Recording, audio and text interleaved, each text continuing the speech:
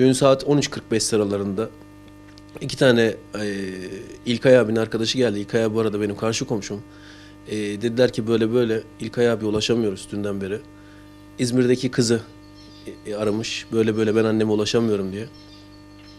Dedim ki tamam kapıyı açarız lakin dedim ben polis olmadan açamam. Sonuçta kendi evleri değil. Daha sonra ben 155 aradım.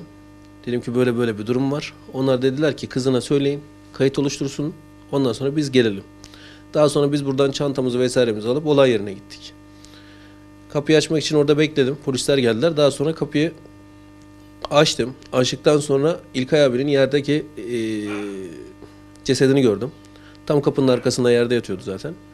Daha sonra kapıyı hemen tekrar geri kapatıp arkadaşlarını oradan uzaklaştırdık. Çünkü eve girmeye kalktılar ister istemez. Daha sonra oradaki iki tane polis abim vardı. Onlar da ekipleri çağırdı. İlkay abiyle biz burada çok uzun zamandır komşu değiliz. Ama yine de bir 3-4 yılımız var. Yani beraber çay iç- içmişliğimiz, sohbet etmişliğimiz var. Şahıs olarak, karakter olarak çok iyi biri. Bildiğim kadarıyla eee, ve gördüğüm kadarıyla aslında oğluyla biraz sıkıntıları var. Yani önceki eşinden olan oğluyla. Ama onun haricinde zaten e, Emel abla, İlkay abi ve Doruk üçü birlikte dükkanda dururlardı. Aile şirketi gibiydi yani onların dükkanı. Beraber işe gelir, beraber eve giderlerdi. Zaten bir gün önce de biz saat 11 sularında falan gündüz bir selamlaştık, birer sohbet ettik, çay içtik. Akşam da saat 7.30 gibi kapatıp gitmiş zaten eve. Ee, hatta eve giderken de Doruk ağlamış, bir tablet almış oradaki bir komşusundan. Hani en azından bu gecelik susturayım diye. Daha sonra eve lahmacun sipariş etmiş. Çünkü girişte lahmacunlar vardı.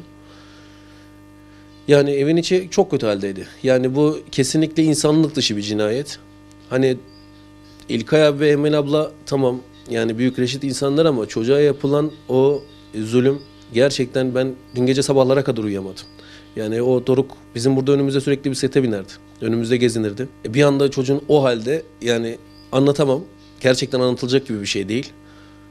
Bu cinnetin daha başka bir türü yani. Bu cinnet geçirse bile insan o kadar bir çocuğa zulüm edilebileceğini ben düşünemiyorum. Allah kimseye böyle e, kötü şeyler ne yaşatsın ne de göstersin.